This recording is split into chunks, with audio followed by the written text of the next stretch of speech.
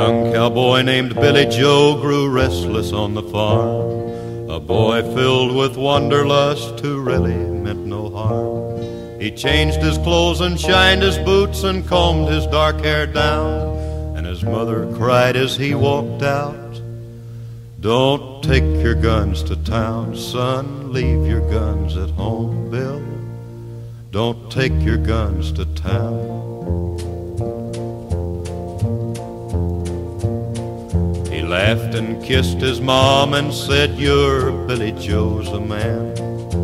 I can shoot as quick and straight as anybody can.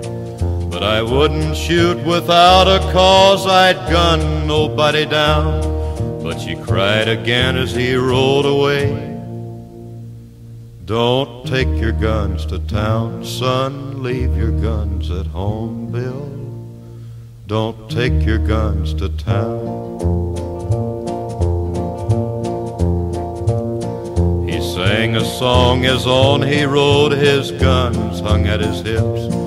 He rode into a cattle town, a smile upon his lips.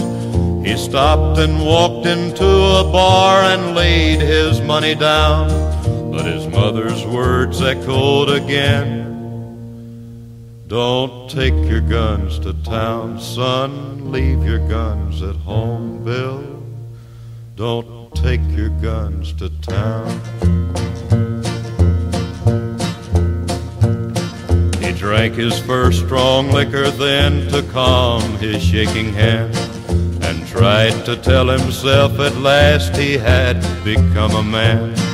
A dusty cowpoke at his side began to laugh him down, and he heard again his mother's words.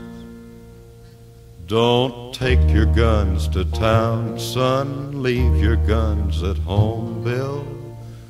Don't take your guns to town.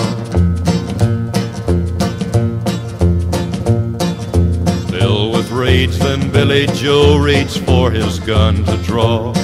But the stranger drew his gun and fired before he even saw. As Billy Joe fell to the floor, the crowd all gathered round and wondered at his final words.